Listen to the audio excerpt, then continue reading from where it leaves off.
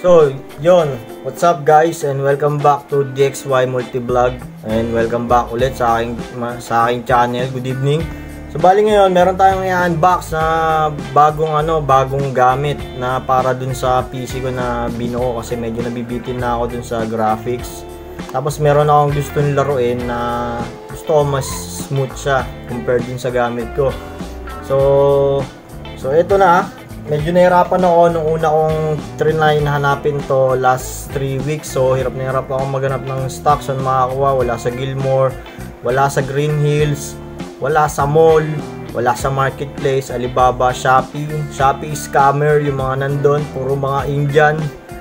Tapos, pati sa Lazada, wala rin. Indian din, scammer. Puro scam yung mga nakakausap ko.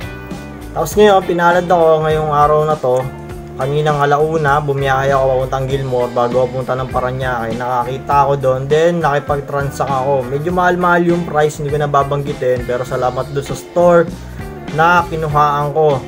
So, eto na. Isa na tayo. Ito. Yan, baliktad. Balik ko. yan, so ito yung bagong RTX uh, Aorus uh, uh, sabihin natin Aorus RTX 2060 Super with 8 gig of RAM. Ah, yan. So, meron siyang 8 gig na RAM. Tapos, uh, ah, RGB focus na siya. Pwede mo siyang baguhin na multicolor or single color sa sa mismong PC mo, ikaw magsaset para kung gusto mo mag-sync yung kunwari, color orange, tas lahat ng unit mo magiging orange, pati ito. Then, meron siyang tatlong fan blades na meron din LED and 4 years warranty. So, ngayon, tingnan natin yung nasa likod niya kung ano yung mga nakasaksak dito yan. Nakita natin eh may mga ilaw-ilaw na. So kasi may ilaw. Pag may ilaw ano yun eh dagdag FPS so yung PC ko puro ano na puro RGB na puro ilaw-ilaw na. Syempre mataas na yung FPS na. Pero yung isang unit ko na video card na gamit ko meron siyang uh, ilaw. Pero hindi ako kontento. So medyo nakulitan na ako sa pinaggagawa ko. Kaya kinuha ko to. So ay mapapansin natin to, may ilaw yung fan blades niya, tapos yung logo ng Aorus. Then, ayan, ayan yung sa mga display niya. Sa display niya, babasahin ko na lang para sa inyo. Meron siyang tatlong HDMI sa taas at tatlong DP port sa baba. Pagkatapos, meron din siyang USB Type-C display. Sa USB Type-C, ginagamit to do sa mga monitor na USB Type-C mode. So, yung capable ng USB Type-C is 60Hz lang, hindi katulad ng DP port na kaya mag-handle lang up to 144Hz pataas. Sa HDMI, pwede rin mo set yun sa 144Hz pero depende na lang kung kakagat or hindi. Pwede siya i-check dito sa channel ko kung paano ko ginawa yung ganong sistema nang walang problem.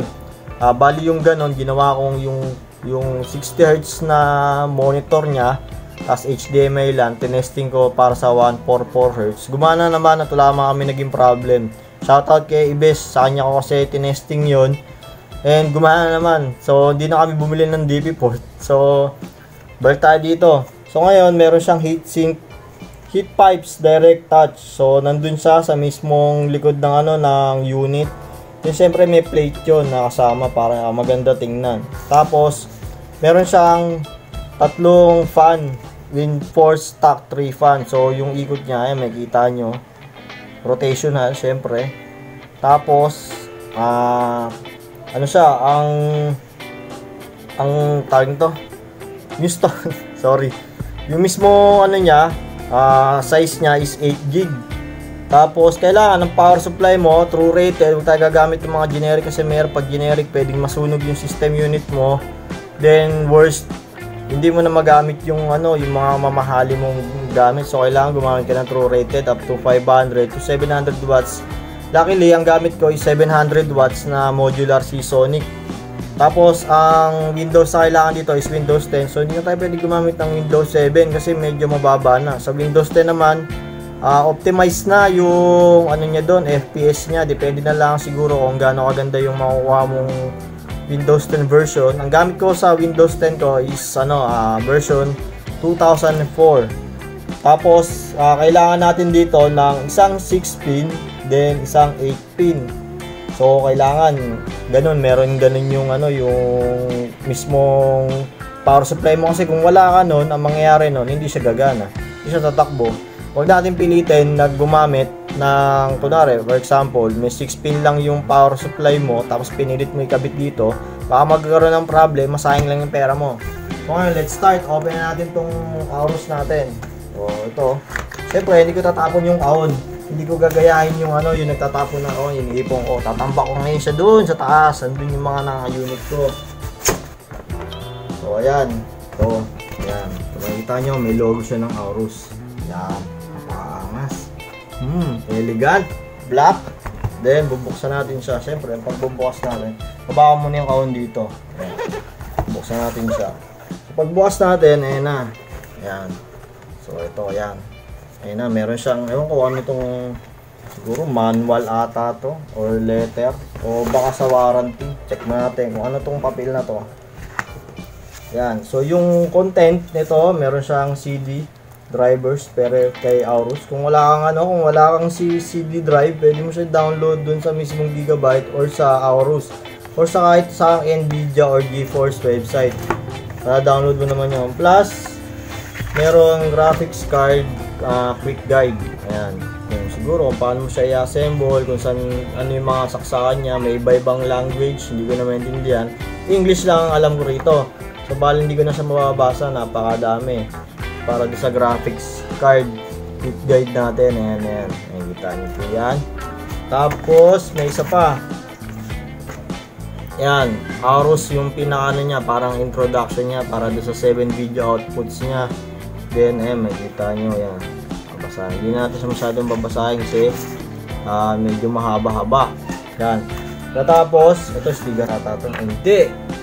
Meron tayong register online to extend product warranty to 4 years free. So, kung may 4 years na 4 years ba yun? 4 years warranty Then, pwede tayo mag-extend ng 4 years ba? Basta kailangan mag-register tayo dito. So, salamat sa Aorus para sa registration ng ating warranty kasi medyo cozy yung ano, yung unit natin. So, kailangan nating magkaroon ng mahabang lifespan. Then, buksan natin siya.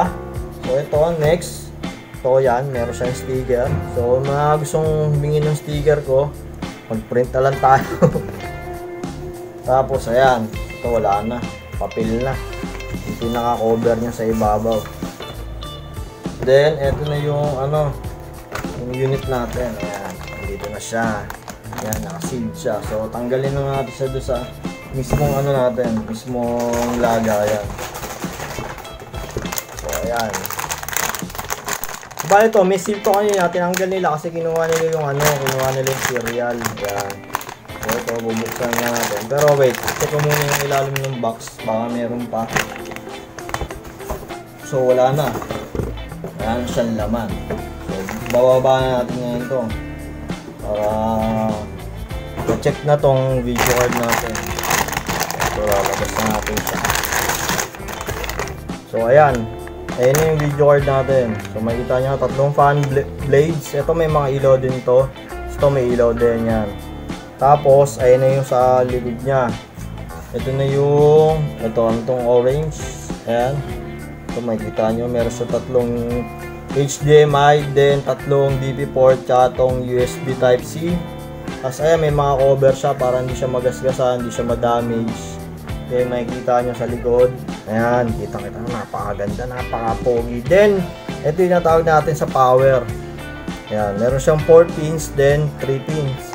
Uh, sorry 8 pins then 6 pins para do sa power supply. So kailangan uh, kabit natin to ng maayos para hindi tayo magkaroon ng problema. Kailangan kumpleto. So ayan. Tapos ayan sa gilid nandiyan din yung Aorus. Nakikita nyo. Kung hindi nyo kita makikita nyo so mamaya kung napapanood nyo itong video to malamang sa testing ko na at nakabit na to so panoorin nyo itong video to na gagawin ko para makita nyo yung yung pagkaka-assemble uh, ko then kung paano ano na itsura niya. So maraming maraming salamat sa panonood. Then testingin ko to, gagawin ko rin siya ng reviews about dito. Then check niyo na lang din dito sa sa video na to yung gagawin kong reviews para dito para makita natin kung maganda ba or pangit or kung mataas yung temperature niya o hindi. Supposed to be pagka Nvidia, mababa lang ang mga kadalasan ng mga ano yan, ang temperature. Then maganda ang usage unlike dun sa other brand na mataas talaga ang temperature. And mataas din maganda ang performance pero mataas yung ano mataas yung temperature. So maraming salamat guys sa panonood. So ulitin paki-follow and subscribe na lang sa channel. Then kung may other questions kayo comment na lang kayo sa comment section. So yun lang. Maraming salamat peace